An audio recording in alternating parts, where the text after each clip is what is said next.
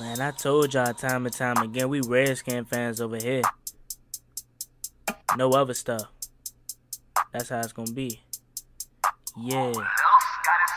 Man, we Redskins over here. Lead them cowgirls over there. Man, we Redskins over here. Lead them cowgirls over there. I don't like Eagles. I don't like Giants. Man, we Redskins till we die. We don't like Eagles. We don't like Giants. Man, we Redskins till we die.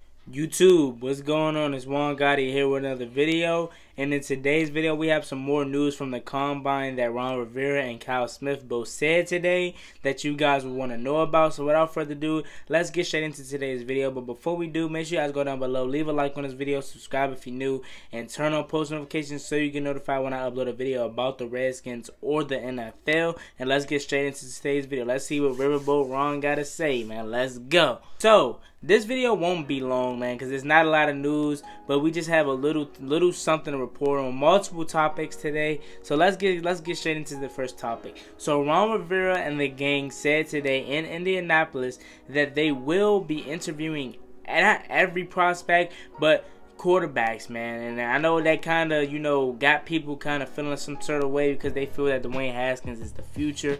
But we have news that the Redskins will be interviewing or is having sit-down conversations and meetings with Joe Burrow, Tua Tagovailoa. Those are just some names to name a few. So they will be interviewing quarterbacks for the number two pick. And I don't want people to be, get bent all out of shape and thinking that we will be drafting the quarterback at number two because that that will not be happening. But that's they're just doing their job, man. They're just doing what they need to do. They have to draft. They have to excuse me. They have to interview almost every prospect at the draft. So even if quarterback isn't a need, they still be doing it. And people were getting all you know mad and stuff that we were interviewing Tua and and and um, Joe Burrow because they feel that that's a threat to Dwayne Haskins and they feel that Dwayne Haskins won't be the starter, but Trust me, Ron Rivera said it himself that that Dwayne Haskins is the future, and he has faith in Dwayne Haskins. He's not, he didn't earn a starting spot yet, but he has, you know, he has the tools to become a starter. So trust me when I say this,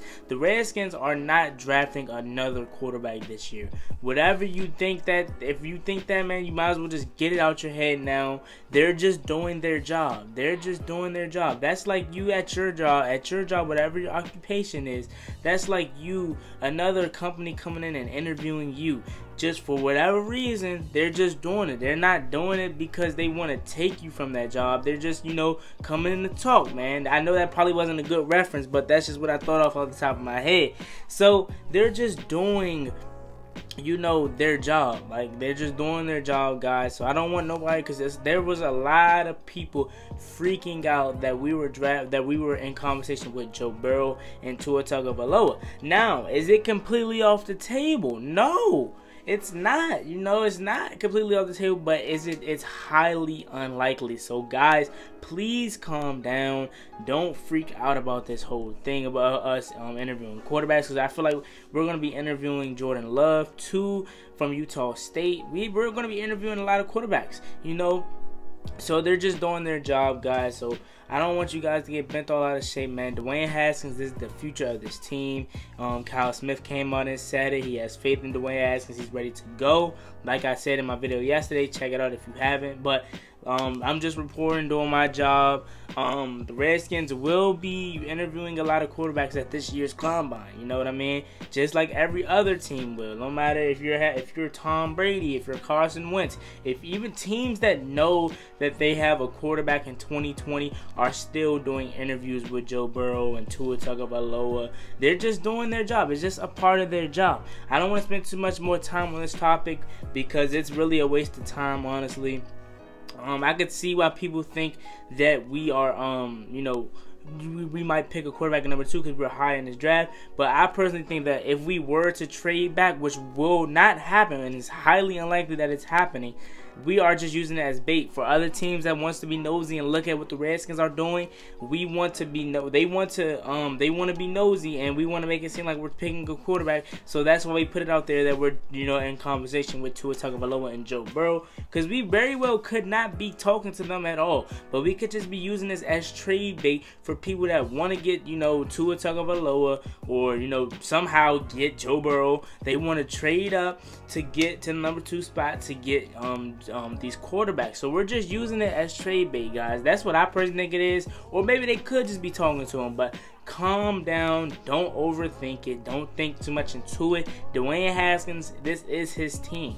This is his team going forward. If he picks, if they pick a quarterback this year, I will be highly, highly shocked. I literally will be in shock. I wouldn't know what to say.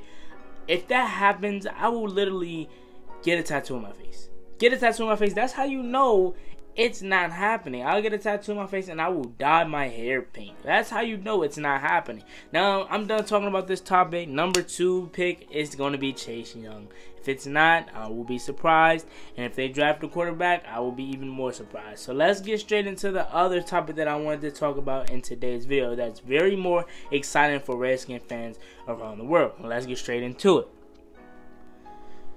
Okay, so Ron Rivera and the gang, they both said, they came out and said today that the Washington Redskins are highly, highly, not expecting, but they are looking to have a one-year turnaround in this in, with this with this new regime and they're not waiting they're not rebuilding. They're they're looking to be like the 49ers you know how the 49ers were what 7 and 9 the previous year or 2 and 14 and then the following year they were in Super Bowl contenders we, our situation is similar to the 49ers. That's why you hear me and a lot of other Redskins YouTubers compare us so much to the 49ers because they we like they said, they had a healthy quarterback and they got a pass rusher in Nick Bosa the following year in the draft at the number two spot. And we what do we have this year? The number two spot. And who do we have coming out this year? Chase Young, a defensive end, who is better than Nick Bosa and Joey Bosa coming out of college. So that's why we compare ourselves so much to the 49ers because we literally what getting our health, getting the quarterback back, our quarterback back this year healthy because we know Dwayne Haskins got hurt last year. Um, and we also had the number two pick, and who's going to be a number two pick? Chase Young. So we compare ourselves to the 49ers, man. You see, they were one healthy quarterback and one defensive one defensive end away from the Super Bowl. Look what happened. They made it to the Super Bowl. So the Redskins said that they are they they are not rebuilding. We're working quickly and working expeditiously to get this thing turned around within a year. They are they will not be shocked and they will they're not I don't want to say they're expecting to have this thing turned around in one year, but they're selling us, they're basically telling us fans to don't be surprised if this team went from a 3 and 13 team this year to I don't want to set the bar too high because we know we don't need 14 wins to win the NFC East. Man, we're not the NFC West when we have Seattle and the 49ers in there fighting it out. And you have to have what at least 13 wins to compete for that division. You can literally win this division with nine wins. So if nine wins is good enough to get into the playoffs, that's what they mean about having this thing turned around in one year. You know what I mean? So don't be surprised if we go from 3 13 next last year to at least 11 and 5 this year, or maybe 14 and 2. That's why you say that's why you hear me compare us to the 49ers so much because they were they were sucky. Then they just became 14 and 2 because of that mean pass rush. And what do we have? A mean pass rush. They added on Nick Bosa. We're adding on Chase Young. Do you see the connection here? They're getting a healthy quarterback that doesn't have to do a lot, and we're getting our healthy quarterback that I don't want to say hot, not has to do a lot, but is expected to ball out in his second year. So do you see what I'm saying here? Last thing I want to talk about before I get out of here is the Redskins also said that they expect to be very, very active and aggressive in this um, free agency coming up. When are the Redskins ever, you know, aggressive? Last year and the years before that, when Bruce Allen was under the helm, we were never aggressive in free agency.